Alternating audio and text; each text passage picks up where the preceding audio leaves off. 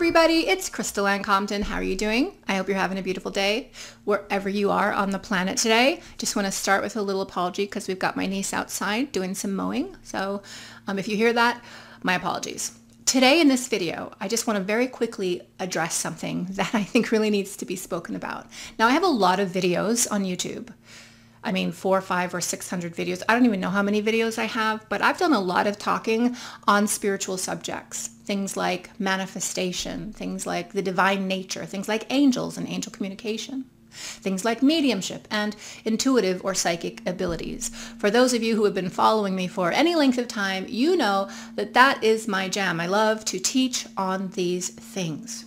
And because I have so many videos, I get a ton of comments. And today I wanted to talk to some of the people leaving comments on a certain subject. And that's the subject of psychic abilities and mediumship not being in the Bible, not being something that God wants us to do. And then calling me a charlatan or calling me terrible, terrible names, which are so rude. I, I never get why Christians or spiritual people feel it's okay to swear at somebody or tell them that they're not a child of God. And it's just doesn't make any sense, but that's okay. Believe me, I've been doing this for long enough that those comments don't bother me. What I really do is I look for the theme, like what are people really saying? And what are people really troubled about? And what I think they're troubled about is this idea that Christians can actually be psychic or Christians can actually have spiritually evidential lives. They can be mediums. They can tell the future. They can talk to angels. They can channel. They can be divinely inspired. For some reason, Christians think that that is the devil's work. And in this video, I'm here to tell you that nothing could be farther from the truth. It's not the devil's work. It's God's work. It's creator energy living and breathing through you. The closer you get to God in vibration, in alignment, in understanding, the more you'll see these miracles and evidences begin to populate your life. That's just the way that it works. Jesus told us this. Seek first the kingdom of heaven and all these things will be added unto you. Not just abundance and not just wellness and not just success, but also intuitive abilities, understanding, perception. All of this is added unto you.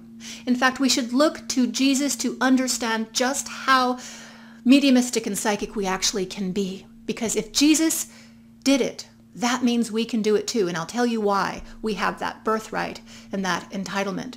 For those of you who are curious about your own intuition, your own abilities, what's possible for you in this life, let me just point your interest to Jesus. Did you know Jesus was a medium? It's absolutely true. And he was transfigured before them, and his face did shine as the sun, and his raiment was white as the light. And behold, there appeared unto them Moses and Elias, who is Elijah, talking with him, him being Jesus. The disciples in the scripture are actually perceiving Jesus talking to long dead men, Moses and Elijah. Jesus here in this scripture is having a mediumistic experience, and there's nothing wrong with it. In fact, it's beautiful, and he was in his holy raiment. Mediumship. Jesus. But that's not all. Let's have a look at this. After Jesus had said this, he called out in a loud voice, Lazarus, come out. The man who had been dead came out with his hands and feet bound in strips of linen and his face wrapped in a headcloth. Unwrap him and let him go, Jesus told them. Here what we're seeing is Jesus raise Lazarus from the dead. But before Lazarus was raised from the dead, Jesus had to talk to his spirit. Jesus had to talk to a dead person. Jesus was demonstrating mediumship right here in this scripture. But that's not all that Jesus did. Jesus also communed with angels. Then the devil left him, and angels came and attended him. Here Jesus is out in the desert, and he's just been tempted by the devil. And finally he said, devil, get out of here. And when the devil left, the angels came and attended him, inspired him, talked with him, spent time with him. Jesus rendezvoused with angels.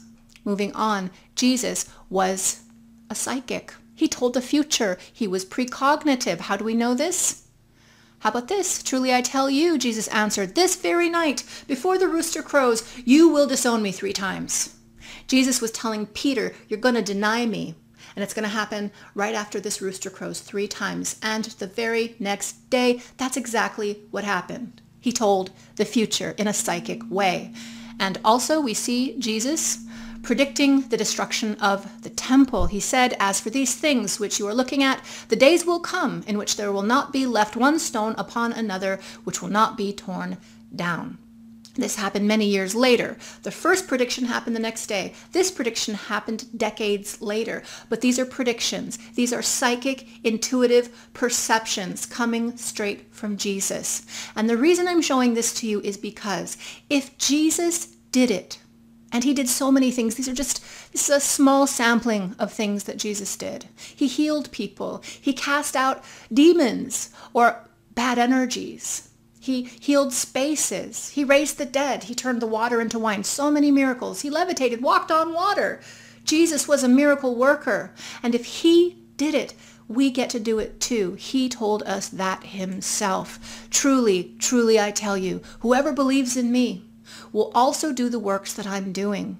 He will do even greater things than these because I am going to the Father. Here Jesus is saying, I'm about to pass, but if you believe in me and what I've demonstrated to you, what I have modeled for you, the divine nature, kingdom of heaven is within. Whoever believes in me will do the works that I'm doing. In fact, you'll do even greater things than these works. That's you.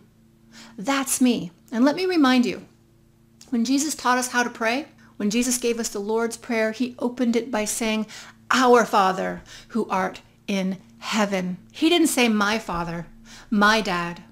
And you bastard children, you guys go over there. He said, Our Father. We are all children of God. We are all heirs to source energy.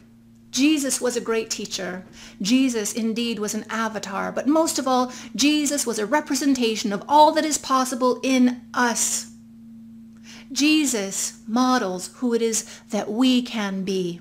So for those of you who are in fear and who don't trust, you don't trust what is being offered to you, let me just close by reminding you that it was God who said, Come, let us reason together.